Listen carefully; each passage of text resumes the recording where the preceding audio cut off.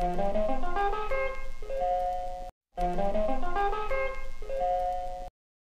So hey guys and yeah welcome back so आज से मैं आप सभी को बेब्लेट मेडल सीरीज़ एक्सप्लेन करने वाला हूँ और ये मैं एपिसोड 11 से शुरू करने वाला हूँ। अब बहुत से लोग बोलेंगे कि भाई यार एपिसोड 1 से एक्सप्लेन करो एपिसोड 11 से बीच में से एक्सप्लेन क्यों कर रहे हो? सो so, मैं आप लोगों को बता दूँ कि जैसे हम जानते हैं कि बेब्लेट मेडल सीरीज़ के टेन एपिसोड ऑलरेडी डिजनी वाले दिखा चुके हैं और आप में से मोस्टली लोगों ने वो देख लिए होंगे और अगर मैं एपिसोड वन टू टेन डालता तो मेरे ख्याल से मेरे व्यूज़ नहीं आते। तो इसलिए मैं एपिसोड इलेवन डाल रहा हूँ और अगर आपने एपिसोड वन टू टेन नहीं देखा है तो आप ऑनलाइन कर सर्च के कहीं भी देख सकते हो। मतलब वो आपको यूट्यूब पे ही मिल जाएँगे तो आप सिंपली सर्च करो और देख लो। और जानता हूँ, बहुत से लोगों ने देख ही लिए होंगे, अगर आप मेरी वीडियो पे क्लिक किया है तो। सो हाँ आज मैं आपको बेरेड मेडल सीरीज़ का एपिसोड 11 हिंदी एक्सप्लेन करने वाला हूँ। सो अगर आपको जानना है कि एपिसोड में क्या क्या होगा तो अभी से करो वीडियो को लास्ट तक देखना, चैनल चैनल को सब्सक्राइब ज़रूर कर दो। मतलब कर तो चैनल को सब्सक्राइब कर जाए तो हमारा फ्री में यार। और वीडियो को लाइक भी ज़रूर करना और अपने दोस्तों के साथ भी ज़रूर शेयर करना। अगर वो बेरेड मेडल सीरीज़ के फ़ैन है तो सो बिना किसी के चलो अपनी आज की वीडियो शुरू करते हैं। सो एपिसोड टेन में देखा जाता है कि जिंगा और कियोया की फाइट होती है, जहाँ पर हमारा जिंगा जीत जाता है, और तभी वहाँ डोजी की एंट्री होती है, जो कि अपने हेलीकॉप्टर में बैठा आया होता है, और तो हमारा जिंगा बोलता है, मैं तुम्हें जानता हूँ, तुम तुम तो डोजी हो। और यहीं पर हमारे मेन एपिसोड 11 की शुरुआत होती है। सो डोजी को देख के हमारे जिंगा कुछ पास्ट के सीन याद आ रहे होते हैं। अब इन सीनों में कौन सा बिल्डर है, वो तो आप सभी को पता ही होगा, और जिनको नहीं पता, अपना गैस लगा के कमेंट बॉक्स में ज़रूर बताना, खैर आपको आगे पता चली जाएगा। तो वीडियो में आगे तक बने रहना। तो डोजी को देख के हमारा जिंगा जो है बहुत गुस्सा हो जाता है और अपना बेबलेट निकाल लेता है और तभी हमारा डोजी बोलता है कि जिंगा मैं तुमसे बैटल करने के मूड में नहीं हूँ। मैं भी क्योया से बैटल करना चाहता हूँ। फिर हमारा डोजी क्योया को बैटल के लिए चैलेंज करता है, जहाँ पर हमारा क्योया उसके चैलेंज को एक्सेप्ट कर लेता है और फिर इन दोनों की फाइट होती है, जहाँ पर हमारा क्योया बहुत बुरी तरीके से हार जाता है। उसके बेलेट में बहुत सारे स्क्रैचेस आ जाते हैं और ये डोजी ने अपने डार्क वुल्फ बेलेट से किया था और हमारा क्योया भी बुरी तरह जख्मी हो जाता है और उसमें इतनी भी ताकत नहीं होती कि वो अपने बेबलेट को भी उठा सके। और फिर हमारा जो क्योया होता है, वो बेहोश हो जाता है। और फिर तभी हमारा डोजी बोलता है कि, मेरी ट्रेनिंग तुम्हारे बिल्कुल काम नहीं आई। तुम वैसे के वैसे ही हो, कमज़ोर। और ये देख के हमारा जिंगा और ज़्यादा गुस्सा हो जाता है। और फिर तभी हम देखते हैं कि जो हमारा तभी हम देखते हैं कि डोजी जो है अपने हेलीकॉप्टर में बैठा वहाँ से चला जाता है। पीछे उसका बेबलेट भी आता है जो कि आपको जो देख रहे हो इस टाइप की चीज़ को मतलब गिरा देता है पर मुझे नहीं पता क्या है। आप लोग कमेंट में ज़रूर बताओ। आप लोग कमेंट में ज़रूर बताओ आखिर ये क्या है मेरे को तो कुछ समझ में चीज़ होती है मोडिया के ऊपर गिर रही होती है लेकिन मोडिया को बचाने के सामने कैंटा आ जाता है और कैंटा को बचाने वहाँ पर बैन के आ जाता है। लेकिन जो वो चीज़ होती है वो ज़मीन में धस जाती है जिसकी वजह से वो तीनों बच जाते हैं। और तभी वो लोग देखते हैं कि जिंगा वहाँ पर नहीं है, लेकिन हमारा जो बैंक होता है वो की को उठाता है और वहाँ से ले जाता है। और फिर कैंटा और उसके दोस्त जिंगा को ढूंढ रहे होते हैं, आखिर जिंगा कहाँ पर है? लेकिन उन्हें जिंगा कहीं भी नहीं मिलता। और फिर हमें अगले सुबह का सीन दिखाया जाता है, जहाँ पर जो कियोया होता है, वो मोडियो के घर में होता है और रेस्ट कर रहा होता है। तभी हमारी मोडियो का आती है और बोलती है तो मोट गए, ये लो तुम्हारा बेबी लियोन होता है, वो बिल्कुल सही हो जाता है। और तभी हमारी मोडियो का बोलती है कि बैंक ने तुम्हारी रात भर देखभाल करी यही देख के हमारा जो मोड़ ये देख के हमारा जो, और ये सुन के हमारा बैन के थोड़ा मतलब शर्मा सा जाता है। और फिर तभी नीचे से कैंटा की आवाज़ आती है जो कि बोलता है कि जिंगा आ रहा है। और तभी मोडियो का और बैन के नीचे आते हैं और उनके पीछे वहाँ पर कियोया भी आ जाता है। और फिर कैंटा जिंगा से बोलता है कि जिंगा तुम रात भर कहाँ थे? और वो आदमी कौन था? लेकिन हमारा जिंगा उनकी बात को इग्नोर करता है और आगे चला जाता है और बोलता है कि मुझे कियोया से मिलना है। तभी हमारा कैंटा बोलता है कि तुम्हें हमें बताना होगा आखिर वो आदमी कौन था और तुम्हारा उससे रिलेशन क्या है? लेकिन तभी हमारा जिंगा बोलता है कि मैं वो तुम्हें नहीं बता सकता। लेकिन फिर भी वो लोग उसे जिद कर रहे होते हैं कि हमें भी बताओ हमें बताओ वो आदमी कौन था?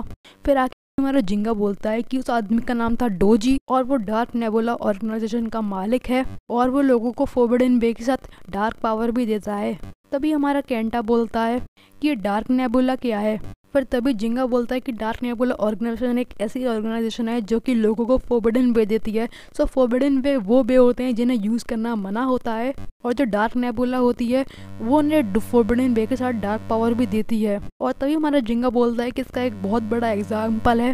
रायुगा, जिसके पास है लाइटनिंग एल ड्रैगो जो कि एक फोबिडन बे है, और तुम सोच भी नहीं सकते कि वो कितना ताकतवर है। और इसलिए मैं शहर से शहर घूमता रहता हूँ, ताकि मैं दुनिया का सबसे ताकतवर बिल्डर बनूँ और रायुगा को हराऊँ। और ये चीज़ों होता है ये सब चीज़ें हमारा कियोया सुन रहा होता है और फिर हमारा जिंगा बोलता है इसलिए मुझे कियोया से मिलना है ताकि मैं उसे डोजी के बारे में पूछ सकूँ क्या कि डोजी ने उसके साथ क्या किया था और कैसी उसकी ट्रेनिंग थी। लेकिन जो हमारा कियोया होता है जो कि पीछे बाल सुन रहा होता है वहाँ से चला जाता है और फिर वो लोग वहाँ उसके कमरे में जाकर देखते हैं कियोया है कि नहीं लेकिन वहाँ उन्हें कियोया नहीं मिलता है। हमारा जिंगा कियोया को ढूँढने चला जाता है और जो मोडियो का होती है वो डार्क नेबुला के बारे में रिसर्च कर रही होती है लेकिन उसे वहाँ पर कुछ नहीं मिलता।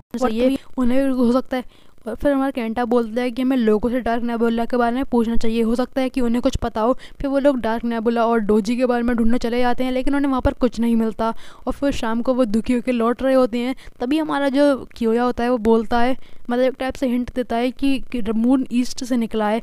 और फिर हमारा जो कियोया होता है वहाँ से चला जाता है। और फिर तभी मेरी मोडो का खुश हो जाती है और अपना लैपटॉप निकाल लेती है। बोलती है मून ईस्ट से निकला है ना? और तभी वो लोग और तभी वो लोग डार्क नेबुला के बारे में देखते हैं। और और तभी उन्हें डार्क नेबुला की लोकेशन मिल जाती है और डोजी के बारे में उन्हें पता चल जाता है और तभी लोग डार्क नेबुला की लोकेशन जिंगा को दिखाते हैं और तभी हमारा जिंगा बोलता है हमें जल्द से जल्द वहाँ पर जाना चाहिए और डोजी को पकड़ के लाना चाहिए। फिर वो लोग डार्क नेबुला पहुँच जाते हैं। फिर तभी डार्क नेबुला के अंदर का सीन दिखाया जाता है जहाँ पर हमें दिखाया जाता है रायू का को जो कि एक मशीन में होता है मतलब एक टैक्सी कुछ लेटने की मशीन होती है उसमें रहता है। और तभी वहाँ की एक एम्प्लॉय उसकी हेल्थ के बारे में बोलती है।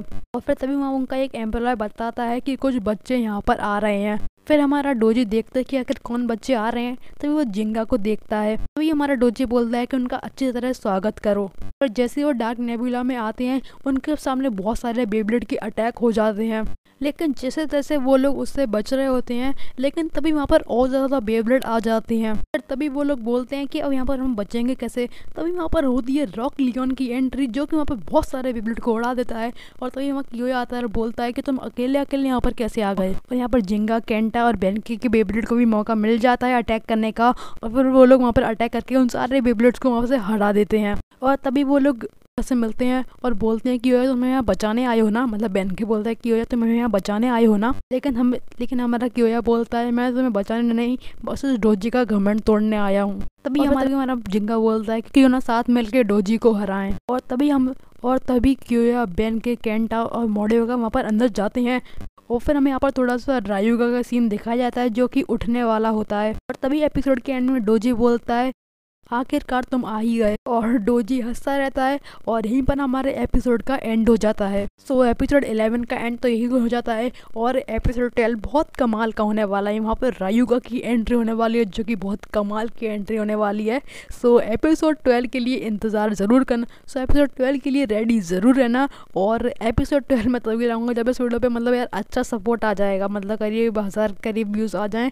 तो मैं इसका मतलब एपिसोड ट्वेल्व भी ले आऊँगा और इस सीरीज़ को मैं आगे भी कंटिन्यू रखूँगा। मतलब मैं पूरा बेबल मेटल फ्यूजन एक्सप्लेन कर लूँगा फिर मतलब मेटल मास्टर भी देखूँगा और मेटल फ्यूरी भी देखूँगा और हो सकता है आगे मैं शोगन स्टील भी एक्सप्लेन करूँ। सो so, आप लोग हमारी जर्नी में ज़रूर जुड़े रहना और हमारे चैनल को सब्सक्राइब भी ज़रूर कर देना ताकि आपको ताकि आपको एपिसोड की नोटिफिकेशन मिले सबसे पहले। और इस वीडियो को अपने दोस्तों के साथ भी ज़रूर शेयर करना अगर वो बेल्ट मेटल के फ़ैन है। और मतलब यार, वीडियो को पूरा शेयर कर दो यार अच्छे, अच्छी कुछ आना चाहिए यार। इसलिए मैंने शुरू किया सीरीज़ तो वीडियो को अपने दोस्तों को ज़रूर शेयर करना और वीडियो अच्छी लगे तो वीडियो को लाइक भी ज़रूर कर देना। और वीडियो, और दोबारा बोल रहा हूँ, चैनल को सब्सक्राइब ज़रूर कर देना। सो मैं मिलता हूँ गली कमाल की वीडियो तब तक के लिए गुड बाय